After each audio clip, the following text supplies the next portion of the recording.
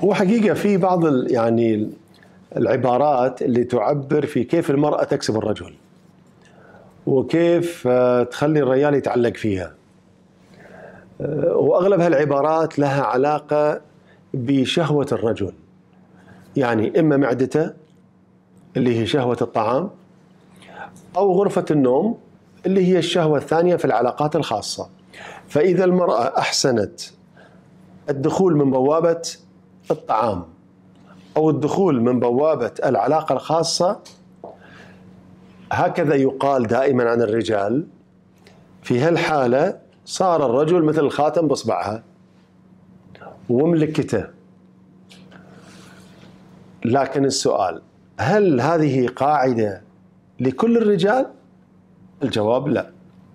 في كثير من الرجال ما يهمه معدته بشكل أساسي أو عنده المطاعم متعود عليها ويطلب طلبات توصل له للبيت، ما عنده مشكلة في الموضوع. وفي بعض الرجال ما عنده قضية غرفة النوم قضية أساسية. واليوم حسب الدراسات والإحصائيات 30% في العالم عندهم نسبة عقم. هذا غير الضعف. فاذا مو دائما هالبوابتين هم اللي يملكون فيها النساء الرجال. طيب اذا لو أنا أبي اخلي زوجي يحبني هل في بوابات ثانية غير هالثنتين؟ الجواب نعم. في ثلاث بوابات خطيرة جدا ومهمة جدا. ثلاث مداخل. المدخل الأول أنا اشوفه هذا أساسي جدا اللي هو الاحترام. المرأة ممكن تملك زوجها لو الزوج عنده شعور باحترامها له. هذا مدخل مهم. المدخل الثاني وهذا كل الرجال يحبونه ما في رجلين يختلفون عليه اللي هو الامتنان. شنو يعني الامتنان؟ الرجل عنده عطاءات، عنده أعمال، عنده مبادرات، عنده إنجازات سواء على مستوى الأسرة أو الأولاد أو الأهل. لما يلقى مرأة تقدر هذا العطاء أو تشكر هالإنجاز أو تمدح هالمبادرة الرجل من الداخل يشعر برجولته يشعر إنه سوى شيء وإنه في أحد قاعد يقدر وقاعد يحترم وقاعد يشوف. هني هذه نقطة ضعف الرجل. ليش؟ لأن كل الرجال يحب يكون شيئا مذكورا. ويحب أنه يكون هو قاعد يسوي شيء. فلما يصير المقابل فعلا في امتنان يشعر بالاستقرار والراحة وكذي فعلا هي تمتلكه الشيء الثالث اللي هي نقطة ضعف الرجال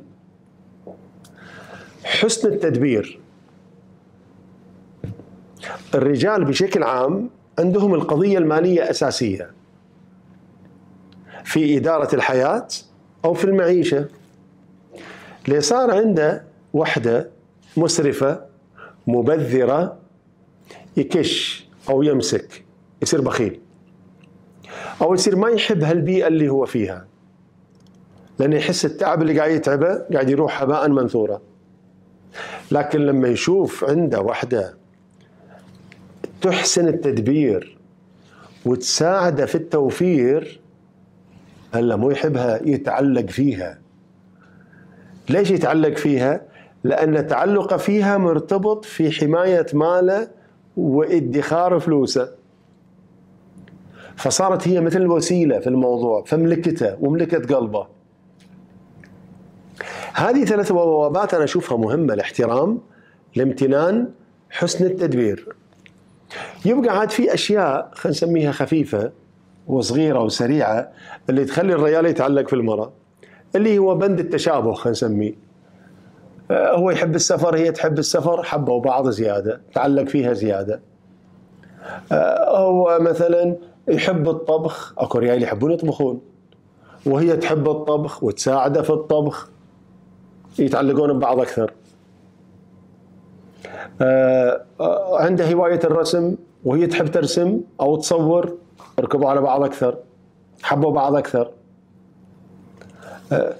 هو مثلا يحب العمل النقابي أو السياسي وهي تحب العمل النقابي أو السياسي اندمجوا أكثر. هو يحب النشاط الخيري أو العمل الخيري وهي مدمنة عمل خيري. حبوا بعض أكثر. هذه أنشطة إحنا نسميها مشترك مشتركة. كذي بهالحالة يتعلق الرجال في زوجته. لما يشعر إن اثنيناتهم سفينة واحدة مو كل واحد فيهم سفينة ولا كل واحد فيهم يغني على ليلى بروحه لا. فهذه يعني النقاط اللي تخلي المرأة فعلا تتعلق في الرجل أو الرجل يتعلق في المرأة.